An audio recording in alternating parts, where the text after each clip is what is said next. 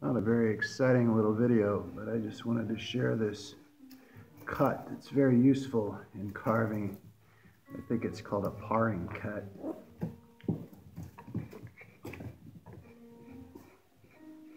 And you kind of slice sideways with a pretty flat gouge, like a number two, just a little cup. And the action is sort of slicing sideways. Anyway, it's one of the main cuts I use all over the place.